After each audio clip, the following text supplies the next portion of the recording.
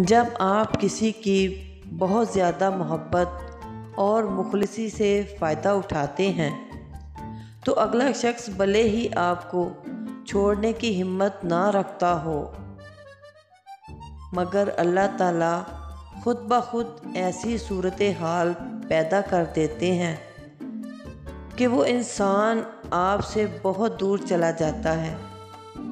क्योंकि इस इंसान को अपनी कदर हो या ना हो, मगर अल्लाह ताला को बहुत बेहतर तरीके से पता है कि आप किसके काबिल हैं और किसके काबिल नहीं।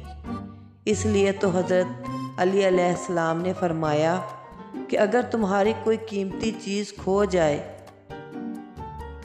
तो इसका रंज कभी मत करना,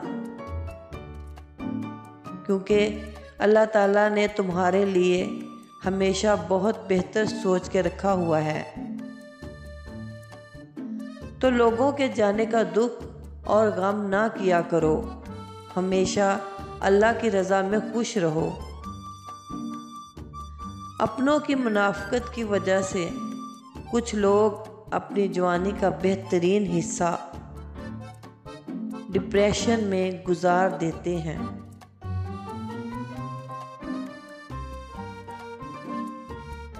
जब दुनिया में जीने का कोई मकसद नज़र ना आए तो अल्लाह से रजू कर लिया करो, नमाज़ पढ़ लिया करो।